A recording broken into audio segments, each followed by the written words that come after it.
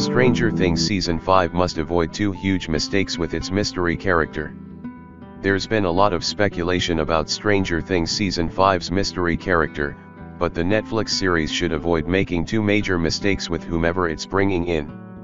Stranger Things Season 5 will bring Netflix's hit series to a close at long last, but not much is known about the coming episodes. A call sheet shared by Stranger Things co-creator Ross Duffer revealed that a mystery character will make an appearance in the final season's premiere, as their name is intentionally crossed off in the social media post. Naturally, there's been plenty of discussion about the crossed off character, with Stranger Things fans' predictions ranging from Eddie Munson to Vecna. Whoever it is, it's clear the Duffer brothers don't want fans to know they'll be making an appearance in the season 5 premiere. And while there's no shortage of characters it'd be exciting to see again, the series should avoid two mistakes when it comes to this mystery person. Stranger Things Season 5 shouldn't revive the dead with its mystery character. Although Stranger Things fans would be excited to see fan-favorite characters like Eddie Munson and Barb again, Season 5 should avoid bringing these players back from the grave. The final outing should stay away from raising the dead in general, as deceased characters' sacrifices would be less meaningful if they were to return. The only way a comeback would make sense is to have the characters appear in dream sequences or flashbacks or to turn them into monsters from the upside down. The latter outcome is almost too devastating to imagine, and it might take away from the bigger stakes of Season 5. While Stranger Things has sparked controversy with some of its character deaths Barb spawned an entire social media movement, and Chrissy's has been criticized for happening too quickly the show has done a stand-up job of sticking to its guns when it comes to the finality of such developments.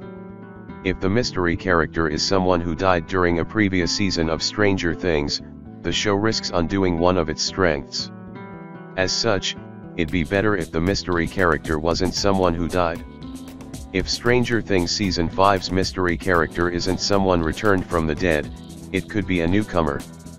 However, this would also be a huge mistake. Stranger Things often introduces new characters at the beginning of a season, and many of them undergo an entire character arc in a single outing. Unfortunately, there's not much time for that in Stranger Things' final outing. There are too many loose ends to tie up regarding Eleven, Vecna, and the Upside Down. Adding more characters would just complicate things further and take screen time away from Stranger Things' already large cast. There are so many questions Stranger Things Season 5 needs to answer, storylines it must wrap up, and characters it has to bid farewell to. New faces and subplots will only serve as distractions from all the important moments viewers have been waiting for. The Netflix series will deliver a stronger ending if it sticks to the storylines and characters it's already established over the past four seasons. For that reason, the mystery character should be someone viewers already know who isn't dead in Season 5's timeline. The mystery character should be a returning player. Vecna or Max would make sense. The name on Stranger Things Season 5's call sheet could very well belong to a character who's alive and established ahead of the final season. There are a few players missing from the list, and the Duffer brothers would have reasons for keeping all of them under wraps. Vecna isn't on the call sheet, but the villain could make an appearance in the premiere something the creators may not want to give away. Max is also not on the sheet, and it's possible she'll wake up from her coma or appear in another form in the premiere. Keeping this off social media would allow it to be a pleasant surprise.